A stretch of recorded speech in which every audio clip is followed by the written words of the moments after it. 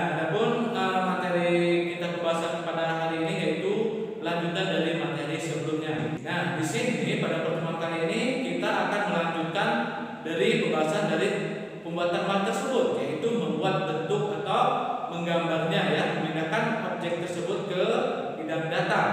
Nah,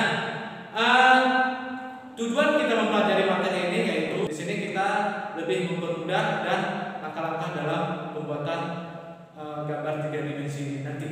Nah, baik untuk tahapan atau tutorial pembelajaran mengenai pembuatan gambar tiga dimensi nanti bisa kalian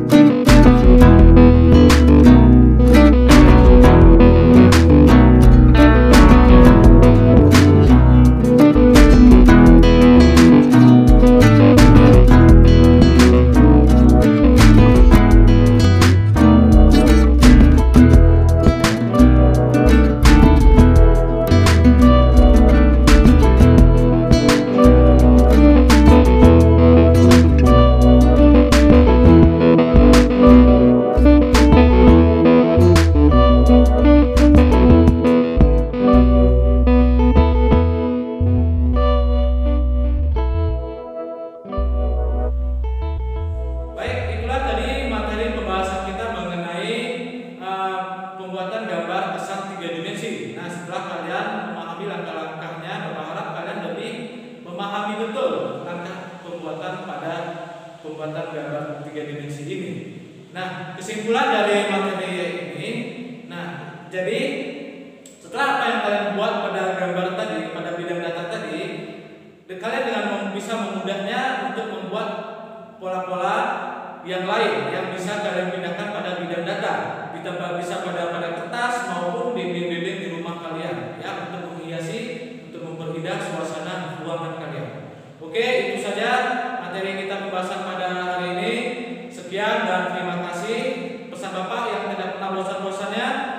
jaga kesehatan, hindari